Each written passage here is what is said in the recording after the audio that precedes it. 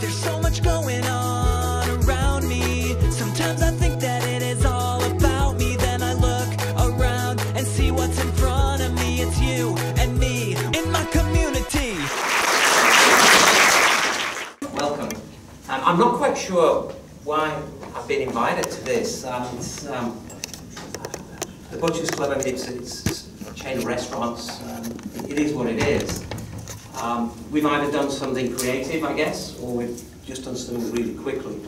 I'm not, I'm not sure. Um, the talk that I'm going to say today, it's going to be off the cuff. I'm going to kind of make it up as we go along. If you want to stop me and ask some questions or challenge me, please do. This can be interactive. Um, so don't don't worry about stopping me. Um, I do want to introduce um, Eric Passard, who's my partner in crime, um, guy there. Um, he's he's my, my the founding partner along with me from Canada. And um, he's the guy that's made everything possible from a food standpoint. I guess I've made it possible from a marketing um, or a branding standpoint. So anyway, here we go. Let's let's go through this. Um, the Butchers Club. We have at the moment four brand, five brands.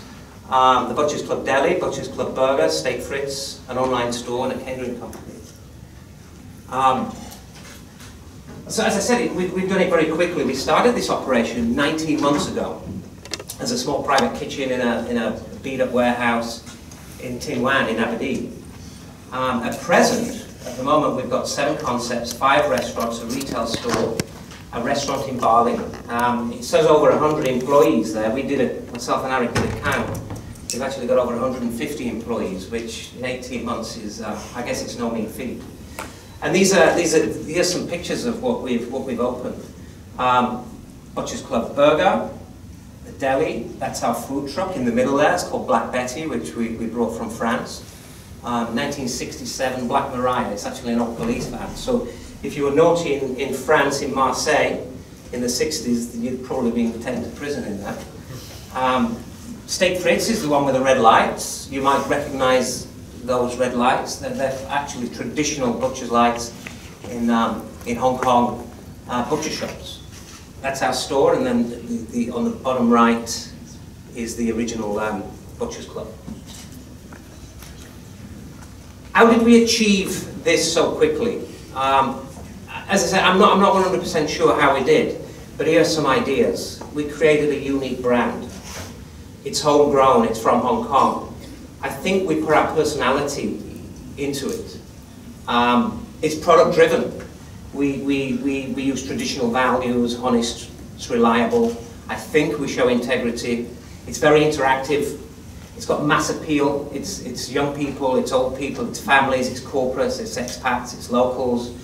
Um, we, we, we spend a lot of time, effort and thought in graphic design and making our brand um, have, have a wide appeal. And, and something, you know, a modern thing that, that we've, everyone's learning this as they, go, as they go along is social media and relationships with the media in Hong Kong and internationally. How do we engage our customers? Education. Everything we do, if you come for dinner to, to one of our restaurants or you come into our butcher shop, we're talking to the customers, we're explaining to them how things work, how we do stuff. Um, we do cooking classes, demonstrations, um, we, we, do education through the, through the media. I think everything that we do, we have, we have fun doing it. Um, the moment we don't have fun is, is the moment we close the shop. And um, we, we, we, we do enjoy. We really do enjoy what we do. We have passion. Um, we do a lot of family events and mass appeal. And I think you can feel that. I think you can hopefully taste it in our food. Here are some of the, uh, some of the events that we do. There, there's me on the left um, doing a kids sausage class at a, at a farmer's market. Um, at the top, we, we, hold, we hold our own farmer's market, which the kids come for free. There's a picture of Ned there, and there's a picture of Ned naked um, the funnily, funny story, one of our food trucks, there's a picture of Ned naked on the roof. He doesn't, he's, to this day, he doesn't know it's there. so anyone looking down sees, sees it. Um, we have a multifaceted brand and concept. We embrace retail, education, media, food service and technology. How did we build our brand? How did we build it so quickly? Um, we entered into the community, and as you saw from those photos, every weekend we're out there engaging with our customers. Every day of the week we're talking to, to our customers, uh, whether they'll be in our shop, in, our, uh, in one of our restaurants, online, we, we, we really do promote that. Social media, this is something I, over the last two years I, have taught myself a little bit about it, and um, you know, some of our social media posts uh, are reaching upwards of over 250,000 um, engagements per, per, post, which is amazing. And, and, what's fantastic about Hong Kong is it's such a small, tight-knit community. Social media is perhaps the most effective way of getting that message across of all of them. Facebook, Twitter, we hammer them. We actually we, we, we, drive we drive our message through that, and it, it, it, spreads like wildfire. Particularly if it's got humour, if it's funny, if it's got that educational content. Um, we use some unique props, and I'll show you some pictures of those, with partnership with other brands, such as Timothy Oulton. Um, Timothy Oulton's a furniture manufacturer in 15 countries. Club Monaco are also in about eight countries. We do a concept called a Burger Takeover, and we work with a beer brand called Peroni. Um, this is a Burger Takeover, a little video which we're going to show you where we invite a celebrity chef to come and take over our restaurant for a day.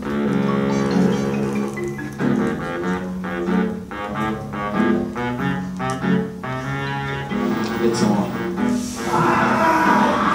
The brakes really did fail My name is Roger Deleon, and I am the founder of Little Borough, Hong Kong. I'm standing here at the uh, Butcher's Club Burger in Wan Chai. Little Borough is doing a badass borough burger for the Butcher's Club Burger Takeover. Uh, we're at the Butcher's Club. Let's do it.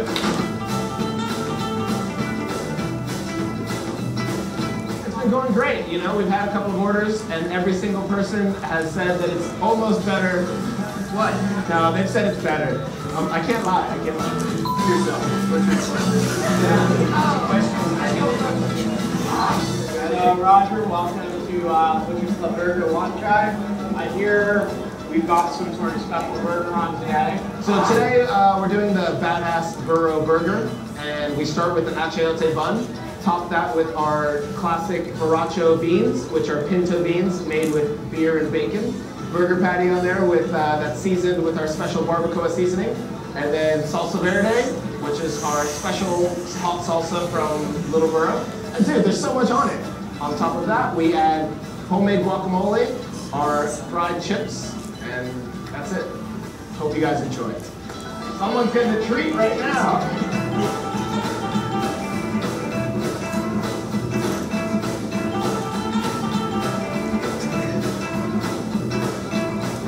Everybody said that it's, uh, it's been an amazing burger, and it's a little bit different from what these guys have done before, which is fantastic. I know these guys are trying to do their burgers very organic and very guerrilla grassroots, so I feel like we have a lot of things in common. We've been talking about something like this for a long time, so happy you guys finally, and we, we needed a dishwasher, so. I definitely think the homecoming needs more collaborative things. Yeah. So, um, happy to be here, guys. For the burger takeover, 5% of our proceeds will go to Feeding Hong Kong, which is a charity that uh, Little Borough feels very strongly about.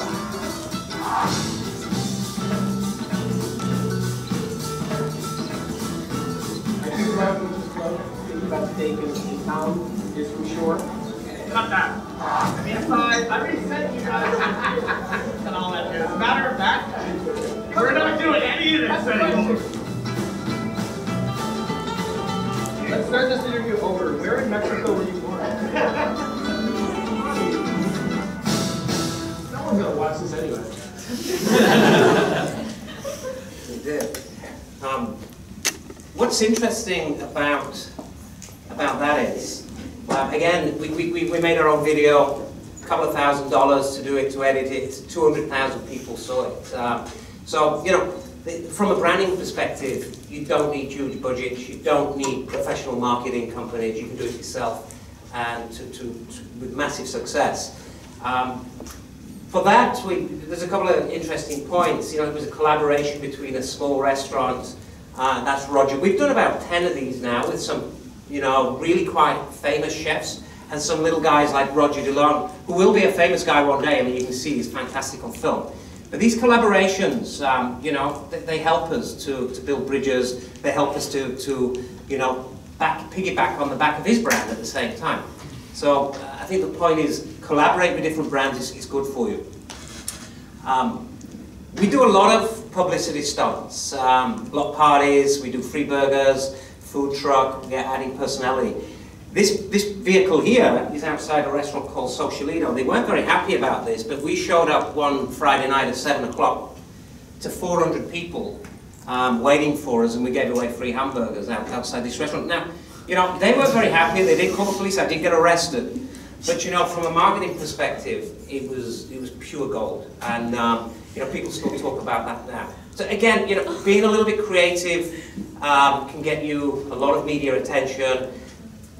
People in this town kind of like that cheekiness as well, a little bit of naughtiness, pushing the boundaries a little bit you can get away with. And, you know, I was only in jail for two hours, so it wasn't um, you might have saw the hamburgers. Our food truck is actually outside, so there's a free hamburger for each and every one of you when you leave.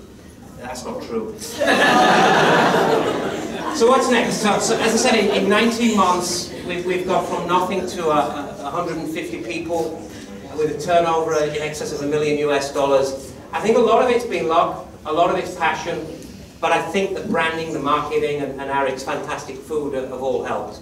Um, in the next 18 months, this is, this is what's going to happen. We, we've got franchise deals in Dubai, UK, Singapore, LA, Sweden, Germany, Philippines.